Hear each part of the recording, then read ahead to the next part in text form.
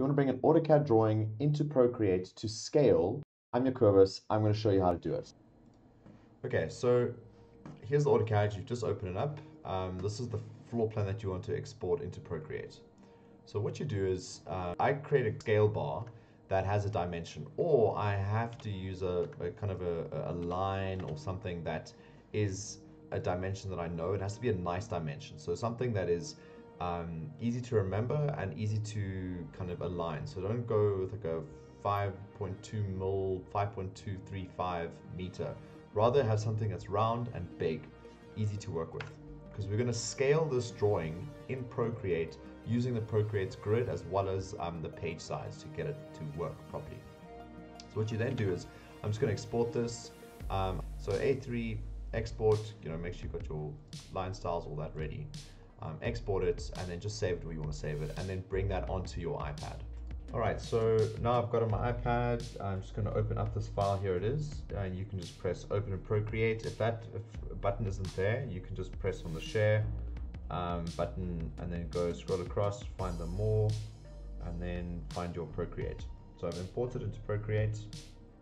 What will happen if you bring it into Procreate is not going to open the file that you just imported. So if you've got a file open, um, it's not going to it's not going to open the one that you're trying to bring in. So rather go to Gallery and then press on it. There you go. Now we've got it open in front of us. All right. So from here, what you need to do is um, go to Gallery. Oh, sorry, go to your canvas, uh, your sorry, your gear spanner, hit crop and resize, and go settings. Now you'll see if I bring this in that it's not going to bring in the size of the actual page. For some reason, Procreate kind of downscales it.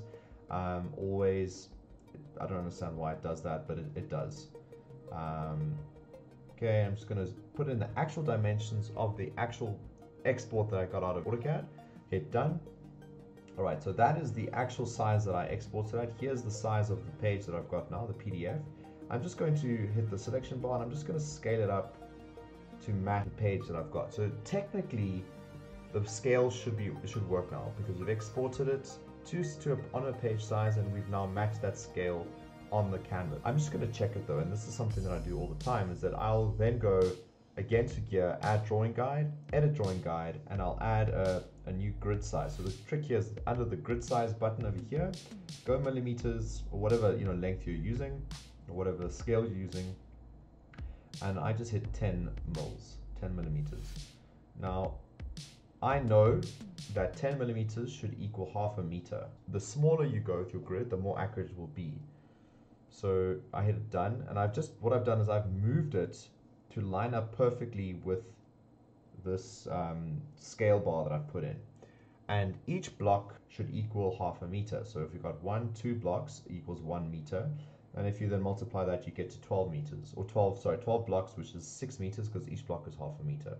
Hit done, and you now know that your drawing is to scale. obviously, this grid is very overpowering, so I would obviously just reduce the opacity of it and now if you're drawing, you're going to be drawing to scale. So I know that as a meter. And if I need to now, with the grid active, uh, draw you know to scale, I can just now press this button on the right here that allows me to draw on the grid and I can draw reasonably, well, very accurately to scale drawings. To recap, you have a plan in AutoCAD, you export it onto a page size that you know.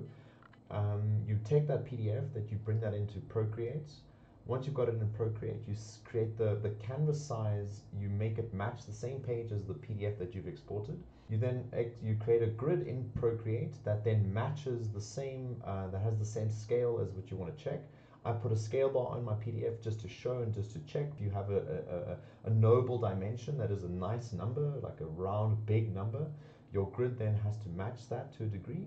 Um, you know, it can either be a meter or I did half a meter grid lines, and I can make sure that they all line up. Very easy, very simple way of bringing an AutoCAD plan through PDF into Procreate to scale. Did you find this useful? Have you tried it and does it work for you? If there's another method that you use, please can you share how you do it? I'd be interested to see um, other methods.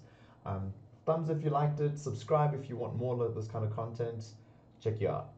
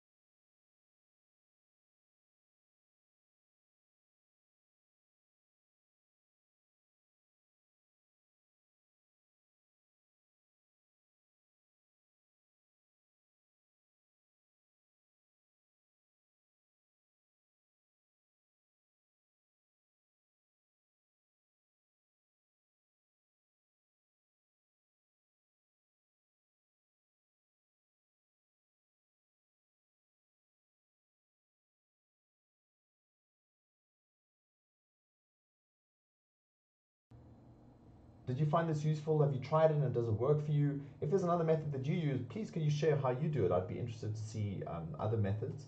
Um, thumbs if you liked it, subscribe if you want more of this kind of content. Check you out.